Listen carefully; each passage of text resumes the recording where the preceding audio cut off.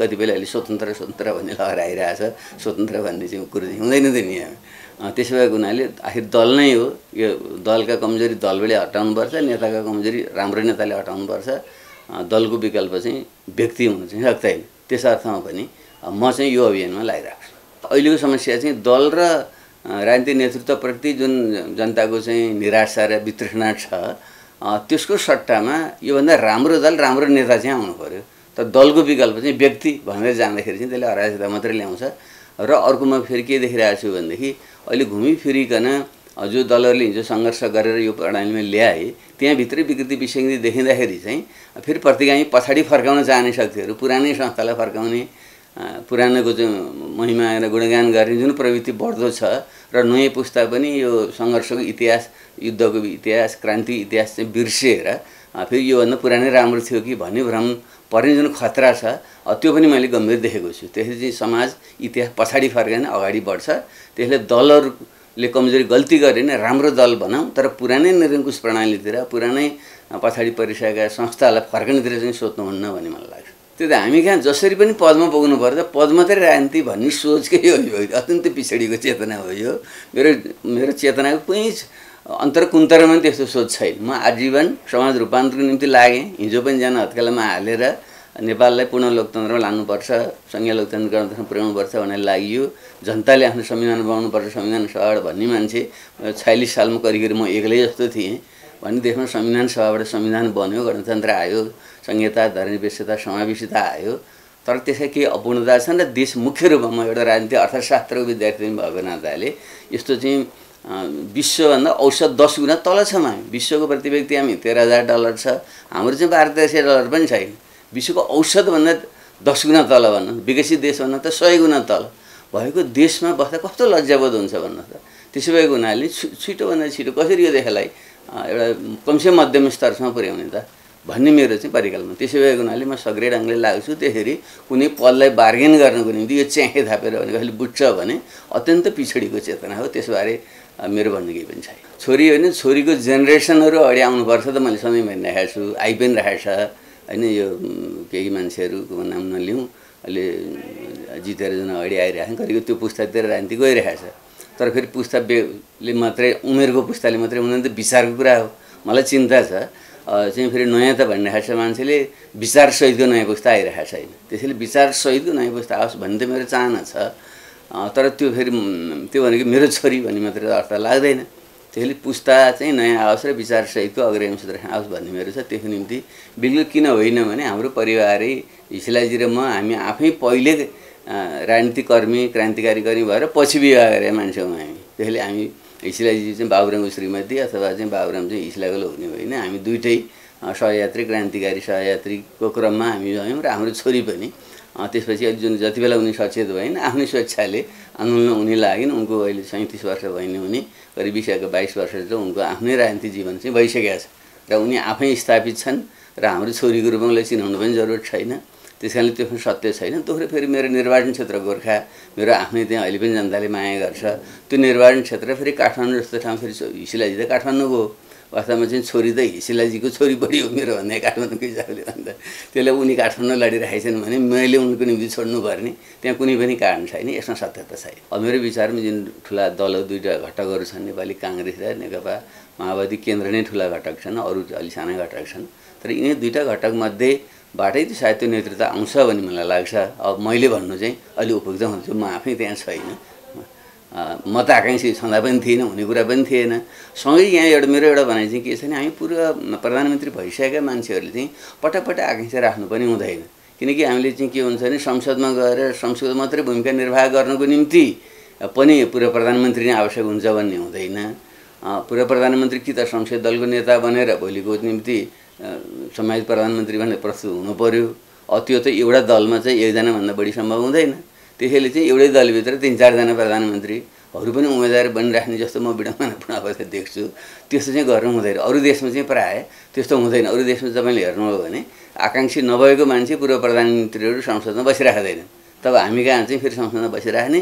त्यो फेरि त्यहाँ झर्ला र खाउँला भनेर आशा गरिराख्ने जुन एउटा प्रवृत्ति छ त्यो पनि ठिक होइन। त्यसैले मेरो एउटा सन्देश त के पनि हो भने अब हामी पूर्व प्रधानमन्त्री भइसकेका मानिसहरूले चाहिँ पुरा आफ्नै पार्टीभित्र चाहिँ राजनीतिक कामहरू हामी गर्ने। नि होइन त्यो अरू साथीलाई चाहिँ संसदीय दलको नेताहरूमा अगाडि सायद त्यो पनि गर्न सकिन्छ। अलि दलहरू हाम्रो अलिक बिग्रनुको पछाडि खास गरी कम्युनिस्ट पार्टीहरू समाजवादी पार्टीहरूमा चाहिँ सत्ताभन्दा जनपरिचालन र पार्टीको काम प्रमुख हो भन्ने मान्यता हुन्छ।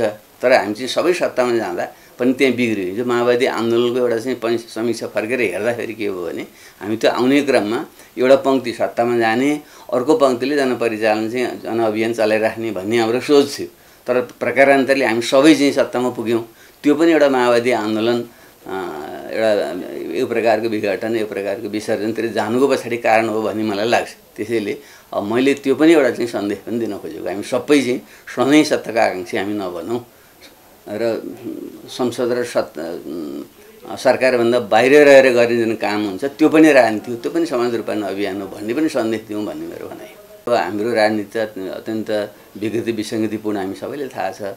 राजनीति भनेको चाहिँ खालि सत्तादेखि सत्ता चुनावदेखि चुनावसम्म मात्रै चाहिँ लिएर बस्ने राज्यका अङ्गहरूको जुन नगो भ्रष्टीकरण छ त्यसबाट चाहिँ हामी सबै धेरै थोरै मात्रामा चाहिँ सबै प्रदूषित हुने र जनताका विकास र समृद्धि र सुशासनका आकाङ्क्षा छन् ती पुरा नहुने जुन विडम्बनापूर्ण अवस्था छ त्यसैको धेर थोर चाहिँ विरासत यो गठबन्धनमा पनि हुनु चिन्ताजनक छ। त्यो त मैले यसभित्रै रहेर पनि आवाज उठाइरहेको छु। तर मेरो शुभकामना चाहिँ यो गठबन्धन चाहिँ कायम रहनुपर्छ। यसले चाहिँ चुनावमा विजय हासिल गरोस् भन्ने मेरो शुभकामना छ। यो गठबन्धन बन्नुपर्ने जुन बाध्यात्मक अवस्था हो यो नै अन्त्य गरिने ढङ्गले हामीले शासकीय स्वरूप र निर्वाचन पनि बदल्नै पर्छ। ढिलो छिटो बदल्नै पर्छ। अब म संसद बाहिर भए पनि मेरो भित्र लक्ष्य के छ भने आउँदैन पाँच वर्ष पनि फेरि उही पुनरावृत्ति हुने खतरा छ अस्थिरताको त्यसो भएको हुनाले शासकीय स्वरूप प्रत्यक्ष निर्वाचित कार्यकारी प्रणालीमा जानको निम्ति मैले चाहिँ जनअभियानको चाहिँ नेतृत्व गर्छु त्यसको चाहिँ पहल गर्छु भन्ने मेरो अहिले पनि छ। त्यो कारणले गर्दा यो बाध्यात्मक अवस्था छ। त्यसो भएको हुनाले त्यो सुधार नभएसम्म यो अस्थिरता चाहिँ आइरहेको छ। अनि चाहिँ गठबन्धन चाहिँ एउटा सत्ताको निम्ति गठन गर्नुपर्ने क्या। एउटा मे उसको मिसनको निम्ति गठबन्धन त हुनसक्छ राम्रै हुन्छ। तर सत्ता प्राप्तिको निम्ति मात्रै गठबन्धन गर्नुपर्ने बाध्यता रह्यो भने यो त देशको निम्ति हितकारी हुँदैन। त्यसले गम्भीर प्रश्न चाहिँ त्यहाँ हो। त्यसो भएको हुनाले मेरो आग्रह चाहिँ के हो भनेदेखि हामी सबैले मेरो मेरो समकक्षी मेरा पुस्ताका साथीहरूलाई चाहिँ मेरो आग्रह छ। हामीले यत्रो त्यागेर बलिदान गरेर यहाँसम्म यो व्यवस्था यहाँ ल्यायौँ।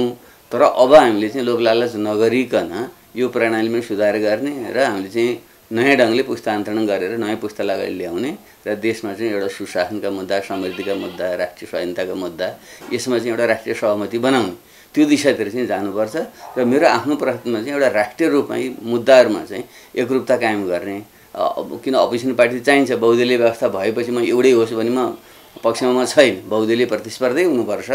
तपाईँले राम्रो शब्द प्रयोग गर्नु सक्रिय राजनीति गर्ने मान्छेले चुनाव नलड्ने भन्नुभयो। हो यो नै रोचक प्रश्न हो। किनकि राजनीति भनेको चुनाव मात्रै हो सत्ता मात्रै हो भन्ने जुन पर्न गयो खास गरी पछिल्लो ढिलो लोकतान्त्रिक नभएको नेपालमा यो अत्यन्त विडम्बनापूर्ण कुरा छ। राजनीति भनेको समाज रूपान्तरणको निम्ति गरिने जनताको र समाजको सेवाको निम्ति गर्ने स्वैच्छिक कर्म हो यो। त्यसको निम्ति सत्ता चुनाव भनेका ती चाहिँ एउटा मध्येको साधन हो त्यो मात्रै होइन। मुख्य विभिन्न ढङ्गले जनपरिचालन जन जनदबाव जनचेतना जगाउने र राज्यका अङ्गहरूलाई जहाँ विकृति विसङ्गति छन् त्यसलाई कम हटाउने ज अथवा जुन अपुग भएका जुन कुरा छन् लोकतन्त्रका अपूर्णता जस्ता कुराहरू तिनलाई सुधार गर्ने आदिको निम्ति सदनबाट संसदबाट आवाज उठाउने एउटा पक्ष हो र मुख्य पक्ष भनेको फेरि सडकबाट जनस्तरबाट जनअभियान सञ्चालन गर्ने कुरा हो। र सरकारमा गएर गर्ने भनेको त एक्जिक्युटिभ फङ्सन मात्रै हो। त्यसले यी तिनवटा कुराको समुच्चता राजनीति हो तर हामी कहाँ चाहिँ जसरी पनि संसदमा पुग्ने र फेरि जसरी हुन्छ पाएसम्म चाहिँ फेरि चाहिँ मन्त्री र कार्यकारी हुने भन्ने जुन प्रवृत्ति आयो यसले देशमा ठुलो विकृति विसङ्गति ल्यायो लोकतन्त्रलाई आघात गर्यो भनेर नै मैले अलि पहिलेदेखि नै हामीले चाहिँ यसमा चाहिँ सुधार गर्नुपर्छ। र हामी पटक पटक लामो समयदेखि सांसद भएका कार्यकारी भूमिका रहिरहेका मान्छेहरूले चाहिँ त्यो मात्रै राजनीति हो भन्नु हुँदैन। हामीले चाहिँ सदन बाहिरबाट सरकार बाहिरबाट गर्ने जो कर्म हो त्यो पनि राजनीति भन्नुपर्छ भन्ने आएको थिएँ। त्यही क्रममा नै मैले पहिलेदेखि सोच्दै आएको थिएँ अब चाहिँ यो अहिले उपयुक्त अब बेला हो। मैले नै एउटा पहल गर्नुपर्छ भनेर मैले गरेँ। बाबुराम भट्टराईलाई तपाईँले जनताको बिचमै देख्नुहुन्छ। म त्यसमै क्रियाशील भइरहेको हुन्छु। र फेरि म हामीले एउटा नयाँ वैकल्पिक राजनीतिक धार समाजवादी धार निर्माण गर्ने हाम्रो प्रयत्न पनि जारी छ। खास गरी काङ्ग्रेस र कम्युनिस्ट नामका जुन दुईवटा ध्रुव नेपालमा बने ऐतिहासिक ढङ्गले दोस्रो विश्वयुद्ध पछिको जुन धार थियो वैचारिक धार शीतयुद्धकालमा मुख्यतः संश्लेषण गरिएका धार त्यसैको निरन्तरताले मात्रै अलि पुगेन। एक्काइसौँ शताब्दीले नयाँ आवश्यकताको नि माग गरेका छ। फेरि नेपालकै सन्दर्भमा यहाँको अत्यन्त पिछडिएको अर्थ सामाजिक संरचना जटिल भू राजनीति यो सबैलाई सम्बोधन गर्नको निम्ति चाहिँ हामीले एउटा लोकतन्त्रमा आधारित समावेशी सहभागितामा लोकतन्त्रमा आधारित समाजवादी धार उपयुक्त हुन्छ भन्ने क्रमले सोचले हामीले यसलाई निर्माण गरेरमा लागेका छौँ। त्यही क्रममा नै हामीले नेपाल समाजवादी पार्टी निर्माण गरेर अगाडि बढ्दैछौँ त्यसैले म त्यो पार्टीमा सक्रिय हुन्छु र अहिले चुनावमा चाहिँ अहिले हामी गठबन्धनमै छौँ। अब भलै प्राविधिक ढङ्गले हामीले गठबन्धनमा पनि बडो बेइमानीपूर्ण ढङ्गले त्यहाँ हामीलाई भयो जस्तो पनि नभए जस्तो पनि गरिएको छ। किनकि अहिले पार्टीलाई विधिवत विभाजन गर्ने ऐन नै छैन नेपालमा। त्यो कारणले गर्दाखेरि जब कि हामीसँग तत्कालीन जनता समाजवादी पार्टीभित्र पैँतालिस प्रतिशत केन्द्रीय समितिमा र पचपन्न प्रतिशत संसदीय दलमा हाम्रो मत थियो। त्यति हुँदाहुँदै पनि ऐनको अभावमा हामीले छुट्टै चाहिँ राजनीतिक वैधानिक पहिचान प्राप्त गर्न सकेनौँ र फेरि हामीले नयाँ पार्टी खोल्नु पऱ्यो यो यो कारण पनि छ। त्यसैले म पार्टी निर्माण गर्ने क्रममा यो राजनीतिक अभियानलाई अगाडि बढाउने क्रममा एकापट्टि सक्रिय हुन्छु। अर्कोपट्टि देशको मुख्य समस्या भनेको गरिबी र बेरोजगारी नै पिछडिएको आर्थिक संरचना यो पहिलो कुरा। दोस्रो चाहिँ राज्यका अङ्गहरूमा जुन खालको भ्रष्टीकरण विकृतिकरण आएको छ। त्यसलाई सुधार गर्ने कुरा छ। र तेस्रो कुरा लोकतन्त्रको अपूर्णता यो शासकीय स्वरूप नेपालमा जुन हामीले चलाएका छौँ एउटा मिश्रित प्रकारको चाहिँ संसदीय व्यवस्था जस्तो त्यसले गर्दाखेरि राजनीति स्थिरता दिँदैन। त्यसैले प्रत्यक्ष निर्वाचित कार्यकारी र पुनः समानुपातिक संसद चाहिन्छ भन्ने कुरा मैले सुरुदेखि भनेको थिएँ। त्यो विषयमा मैले आवाज उठाउँछु। र चौथो कुरा चाहिँ जुन जटिल भू राजनीति छ खास गरी भारत चिनका बिचमा हामी छौँ र विश्व महाशक्तिहरूको पनि यहाँ जुन चासो छ त्यस्तो अवस्थामा चाहिँ एउटा राष्ट्रिय नीति हामीले लिएर देशलाई चाहिँ कसरी राष्ट्रिय स्वाधीनताको रक्षा गर्ने भन्ने जुन कुराहरू छन् यी विषयमा म निरन्तर क्रियाशील हुन्छु र तपाईँले मलाई संसद बाहिरका सबै स्थानमा तपाईँले पाउनुहुन्छ।